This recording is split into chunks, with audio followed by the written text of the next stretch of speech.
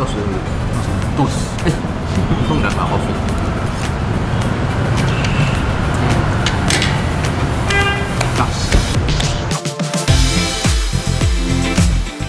Jadi kita ada di Beng Beng Chasio Jalan Wahidin. Eh, kalau jualan chasio di Medan nggak asing lah ya nama Namanya udah nama lama. Beng Beng Chasio ini udah lama.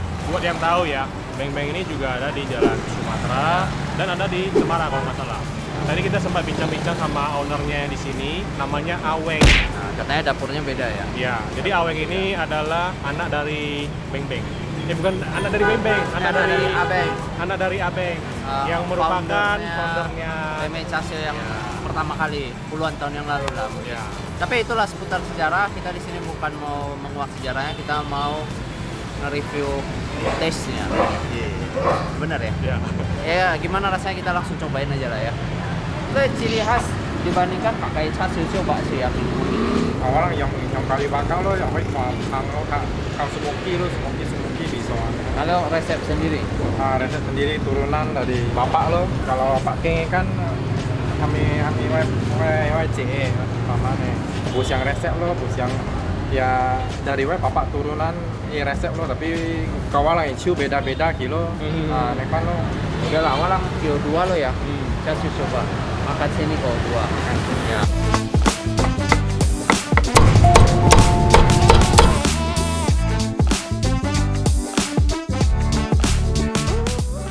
Platingnya mantap kali ya. Iya. Kuahnya di bawah. Ini kayak tower gini, lu tau kan? Jadi bukan hanya sushi-sushi itu yang punya tower. Chasio pun ada towernya. Di mana pun di kota Medan nih kalau lu makan nasi babi panggang, supnya itu selalu sup sawi sayur asin. Kenapa ya? Ada yang nggak asik. Ya, tapi maksudnya namanya kan sayur asin. Iya. Kenapa? Karena kalau sawi biasa aja rasanya pahit. Ini kita serius nggak tahu, jadi beneran nanya nih, serius nanya. Kalau kalian tahu coba tulis di komen. Oke, tadi kita udah bilang di sini chasionya itu terkenal dengan chasio yang tipis-tipis, kayak dendeng. Tadi kita tanya ownernya, katanya sih karena pelanggannya rata-rata suka yang chasio yang teksturnya itu lebih garing. Jadi ini agak mengkilat karena dia di tulis madu. Oh, belas madu. Tanda dia chasio itu harus harusnya itu ada rasa gurih umaminya, Hmm. tapi juga harus ada rasa manisnya. Dan sedikit tekstur gosong itu buat ngambil crunchy-nya gitu. Tapi ya jangan kebanyakan lah, ntar kena kanker kalian. Iya, iya. Kita cobain dulu ya chasio. Hmm. Wow. Sekarang gua ngerti kenapa dia harus tipis-tipis. Jadi yang kau dapat itu pertama itu taste manisnya sama aroma smoky-nya dikit. Jadi Dan ini- tekstur dagingnya itu sedikit meaty, tapi juga berada di antara daging dan kulit. hmm, Karena kalau biasa chasio udah tebal tuh ngunyahnya susah. kita dapat yang tebel tapi dalamnya itu masih juicy. Nah, itu baru betul spesial. Kalau ketemu yang lean susah ya. Iya. Nah, kita coba cabenya nih.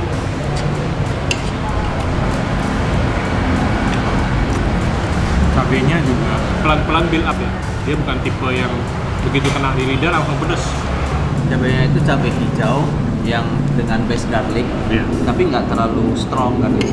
Jadi buat yang makan chasio itu kan base-nya manis, endingnya manis. Iya. Nah, fungsi cabai inilah biar nambah sedikit flavornya gitu. Jadi nggak nggak nggak habis endingnya manis mulu semua. Eh walaupun di sini namanya bebek chasio, di sini juga ada jualan sioba alias roasted pork belly. Oh, roasted pork belly udah pasti bagian perut babi ya. Kita coba juga di sini. Cuma yang gue dapat nih banyakan yang layernya Fat. fat ya. Jadi potongannya lebih tebal. Kita coba dulu tanpa pakai apa-apa. Garlic-nya dapet, asin gurihnya dapet. Cuma ya memang potongan dagingnya menurutku ya terlalu banyak fatnya. Tapi itu balik lagi ke kualitas daging ya. Mungkin kualitas daging di Medan lagi kurang bagus. Tapi di sini gue agak heran sih. Maksudnya kan kalau di tempat rumah makan chasio, nasi chasio ya, atau nasi campur ya kalau di Jakarta ya, itu biasa jarang banget sih dapat ini. Dapat apa namanya? Bayupo. Bayupo. Bukan bayupo, ini bayupo. Kerupuk kulit babi. Kerupuk kulit babi dan tahu. Biasanya Iya. cuma dapat chasio, sioba, sama timun dan telur. Ini dapat tahu lah. Sama ini Leo. Ini apa sih? Oh iya, bagian ya. Bakin ya. Hokkien atau Huan atau hewan Chunkian. atau Chunkian. Chunkian. Oh, Chunkian orang Hokkien. Chunkian itu adalah Chinese sausage roll yang besar. Yaitu basically babi yang di udah dihancurin, diadon, jadi kayak bentuk sosis besar gitu, terus di, di Dikukus lalu digoreng. kukus, baru goreng, baru di slice.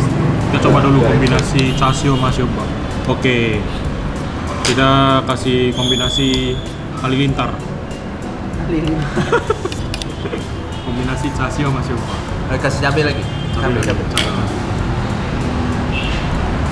Apakah menggelegar? Tos dulu. Tos. Untung udah nggak kopi.